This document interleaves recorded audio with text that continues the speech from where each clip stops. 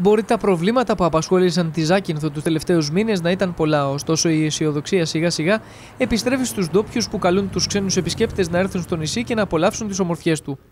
Η φιλοξενία, το τοπίο, οι όμορφες παραλίες και γενικά είναι κάτι μοναδικό να έρθει κάποιος στη Ζάκυνθο. Ξεκινώντας από τους ανθρώπους, συνεχίζοντας στη θάλασσα και στη φύση οι κάτοικοι της Ζακίνθου θεωρούν ότι οι επισκέπτες έχουν αμέτρητα μέρη να επισκεφτούν που θα τους μαγέψουν.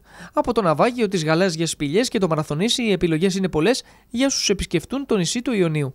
Έχουμε πολλά αξιοθέατα, ε, πολλά μέρη να δει ο κόσμος και διασκέταση, το καλοκαίρι πάρα πολύ. Ε, οι παραλίες που φημίζονται, όπως είναι αυτές, πούμε, στο, αυτή στο ναυάγιο, οι ίδιοι οι επισκέπτες του νησιού μένουν με τις καλύτερες εντυπώσεις, ενώ όσοι έρχονται για πρώτη φορά προτείνουν και σε φίλους και γνωστούς να ταξιδέψουν στη Ζάκυνθο το καλοκαίρι.